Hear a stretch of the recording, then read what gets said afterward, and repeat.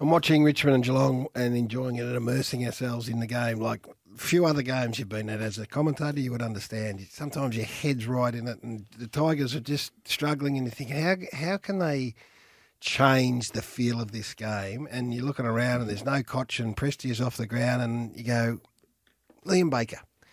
He, he was playing half back and doing what he always does, just competing hard did you know that Liam Baker was capable of moving into the middle of the ground and changing the complexion of a game of the magnitude of that? We've all come to be lovers of Liam Baker, forward and back. Now you can throw midfield. It was he, he was stunning in about a fifteen minute block. And 2020 played most of the most of the year as a wingman, so he's played everywhere.